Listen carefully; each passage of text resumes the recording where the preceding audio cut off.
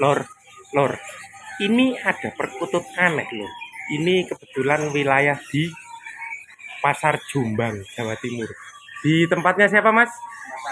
Mas Hake. Lah, ini ada perkutut unik. Lah, ini ini burungnya, ya. Lah, monggo kita gali bersama-sama ya. Ini perkutut jenis apa itu? Entah songgo ratu, entah songgo apalah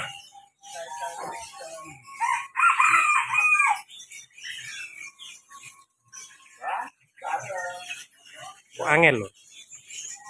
Angel, angel. Nah, nih yuk kita.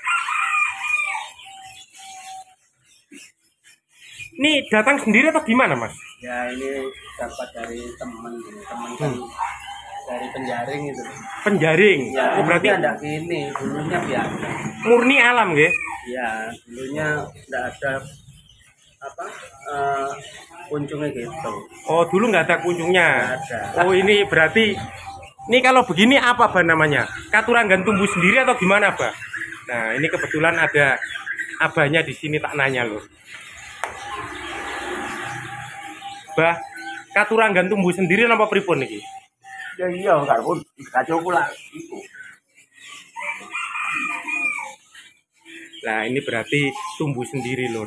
Nah ini kalau satu helai, ini cerita satu helai loh ya. Kalau di Katuranggan itu masuk Songgo Ratu.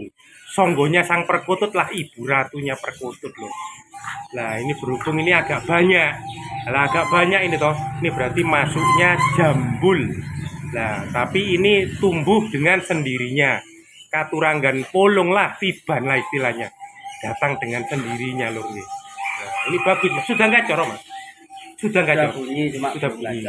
Murni suara alam ya. Ya, mana. Nih, barangkali dulur-dulur ada yang lewat Jombang. Lah ini adanya di Tunggorono bedak nomor satu ya. Nih, nomor nomor 11 sama 12 Nah. 13. Ini kebetulan tempatnya Mas Akik. Nih kalau cerita mitos Lur nggih. Nah, ini cerita mitos. Barang siapa saja yang memelihara perkutut jenis begini. Nah, itu wibawa derajatnya itu akan naik. Ini cerita mitos. Tetapi itu pun Lur nggih harus diimbangi berdoa, bekerja, amal yakat, memohon sama Gusti Allah. Cuman berhubung sekarang ini zamannya sudah maju, lah makanya perkutut begini sebagian ada yang bilang katanya jeksian, katanya silikon. Lah itu sih gara-gara zamannya sudah modern.